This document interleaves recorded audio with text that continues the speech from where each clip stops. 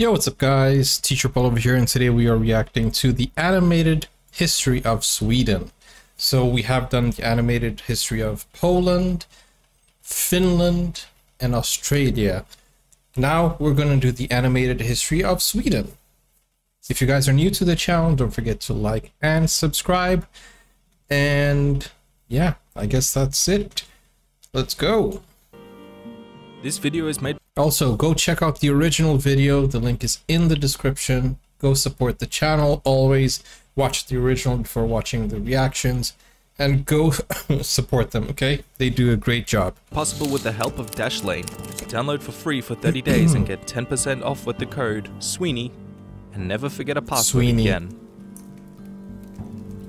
Deep in the valleys of rivers and lakes lay the lands of forest and frost, which the Northmen call Uppsala. The sagas speak of Odin's family who ruled there as kings. the they speak Nordic of Frey, Lights. who built a great temple and ruled the land from his throne on the hill, of Fjolnir, who drowned in a vat of mead while feasting in Sealand. The pages of the sagas then tell of Svigdir, who vowed to find Asgard, traveling far and wide for many years.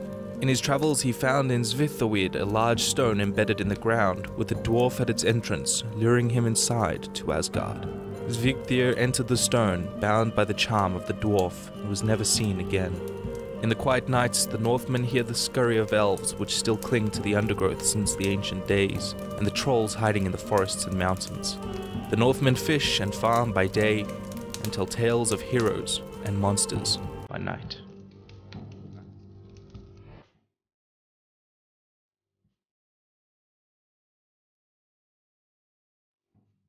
Second World War.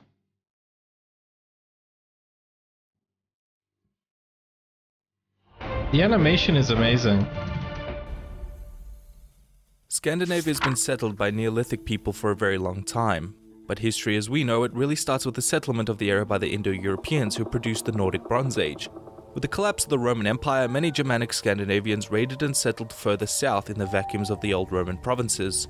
The tribes that stayed developed the Proto-Nordic culture, an Iron Age society contemporary with the Great Migration period.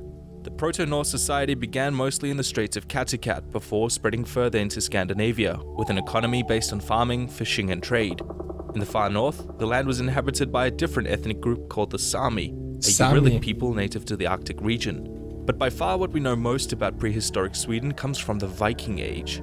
One theory for how it began was a sudden explosion in population, and this larger society started competing with each other for very limited farmland. Food became more scarce, and soon Scandinavians were importing a lot more food through trade.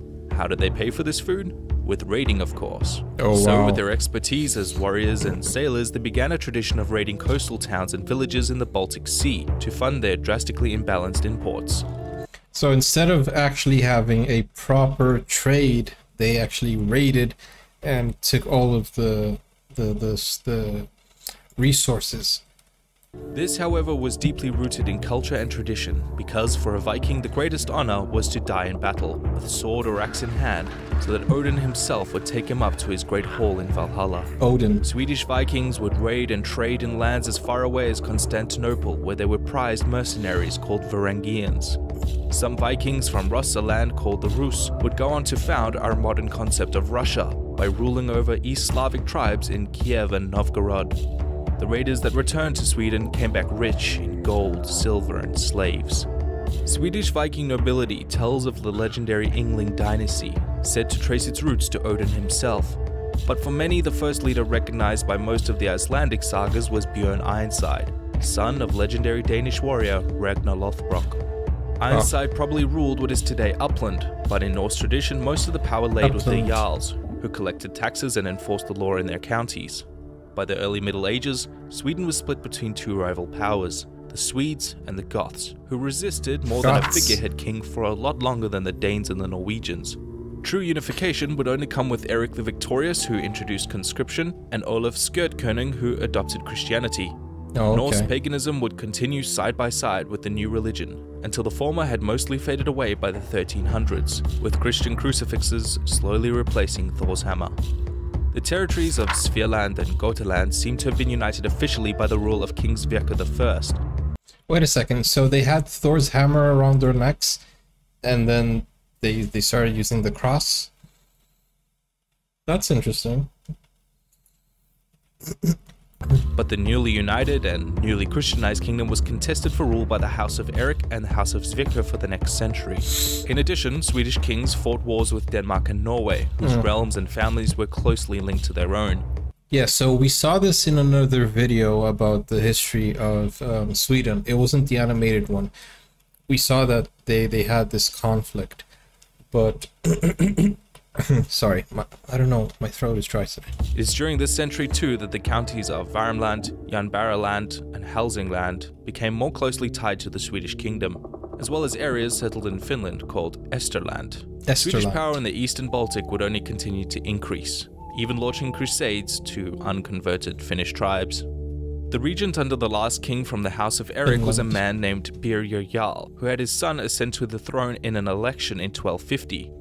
Birger Jarl founded the city of Stockholm by building a fortress on the old Viking settlement at the link between Lake Mälaren and the Baltic Sea. This would come to be Sweden's center of trade and government and eventual cultural capital. King Magnus Ladulås issued the Ordinance of Alsnö in 1230, establishing a nobility and feudal levy, drastically increasing the small kingdom's power. They would go on to settle the Gulf of Bothnia and establish a fur trade monopoly with the Sami. Oh. When See, Magnus that's the IV thing. inherited the That's the thing about Scandinavia. It's Scandinavian countries are so economically um, powerful, and you know, it's interesting that they were separate because if they had did ha- had done the trade from the very beginning, sorry, I believe that there was another video that I saw about if Scandinavia was all one country, it would be the most powerful country ever. However, the Scandinavian region altogether still an amazing, amazing powerhouse. the throne of Norway in 1319, he was elected the King of Sweden in the Convention of Oslo in the same year, making him king of both entities. But he was then kicked out by the nobles and replaced with Albert of Mecklenburg, and then he was in turn kicked out and replaced by Margaret of Denmark. By this point, Swedish nobles, fed up with the power struggles and eager to counter the trade monopoly of the Hanseatic League in the Baltic Sea, met in Kalmar to sign a joint personal union by which Margaret's nephew, Eric of Pomerania, was crowned king of all three domains, calling it the Kalmar Union. There we Although go. the union brought great riches and prestige to Scandinavia, it was controlled almost exclusively politically and economically by Denmark, the far more powerful of the three kingdoms, from their capitals at Roskilde and Copenhagen. A strong sense of regionalism developed around this time, with Swedish upper class viewing themselves as separate from Dano-Norwegians. A separatist party began to grow around a noble called Sten Sture the Younger, and during the coronation of Christian II of Denmark and Norway, the Swedish delegates refused him as king. That leaves me a question actually. In modern times, is there this um, this air of super, superiority in each of the countries? Because, like in my country, Brazil, um, what happened was the Europeans, the Portuguese, came. The Portuguese came to Brazil, and they came through the ports of Bahia, and they brought a lot of slaves with them um, therefore what happened was the north was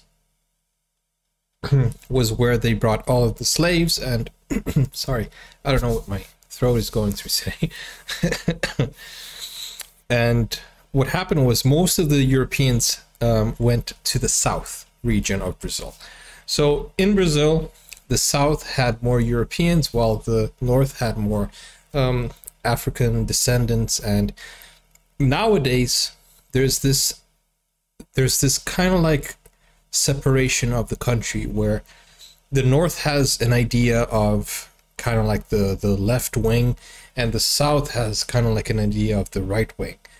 Um and it is something that has been debated so many times and they have always tried to do a petition or you know, many people wanted to separate the South from the North because they are so different, and the the whole the whole um, reason is because the whole reason is because of the separation of um, the Europeans being more in the South and the North having more um, of the African um, descendancy, right? Guys, I'm so sorry. I don't know what happened to my throat today, but I, I'm having a hard time talking. Christian would then conquer Sweden by force, and after executing more than 100 nobles in Stockholm, sparked a rebellion. the rebels Sorry. rallied around a noble called Gustav of the House of Vasa. It's funny because before before starting the video, I yeah, it was okay. The Swedish War of Liberation lasted just two years, with Gustav crushing the Dano-Norwegian troops and loyalists to Christian II. In 1523, he was crowned King of Sweden, and in the Treaty of Malmö, the Kalmar Union was split in two, the Kingdom of Denmark-Norway and the Kingdom of Sweden. Okay. Sweden was now a new kingdom with a brand new royal house, and circulating in this kingdom were new technologies and ideas of progressivism. The new printing press was spreading the romantic works of the Renaissance as well as the works of Protestants in Germany. Change was in the air, and it was now clear that Sweden was on the cusp of a glorious new future. The middle class became obsessed with innovative ideas and provocative thought, an explosion of intellectual thought, with a university opening up in Uppsala. And innovation is something almost all of us can get behind, with new technologies and infrastructure dedicated to bringing us to an ever more interconnected world. But unfortunately, that means we live in the age of the password. And if you're like me and have an email inbox full of see what reset you did forgotten there. password links, then let Dashlane do the remembering for you. Dashlane is a company founded on preserving internet and Okay, I'm gonna skip this part because it's it's you know promotion, and I'm just gonna go straight to the credits. So, guys, go watch his videos. Go support him. And I'm skipping it because I don't think you guys want to see paid promotion, right?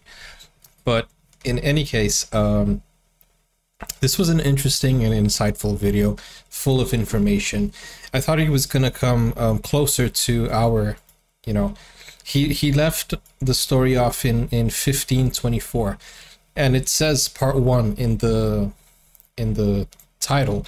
So I don't know if he's gonna do a part two because, or if he has done a part two, because this video was made three four years ago, four years ago.